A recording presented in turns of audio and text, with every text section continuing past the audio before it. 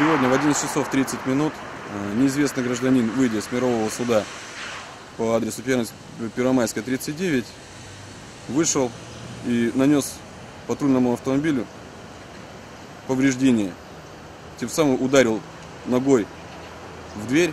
Данное правонарушение попадает под статью 167 Уголовного кодекса Российской Федерации.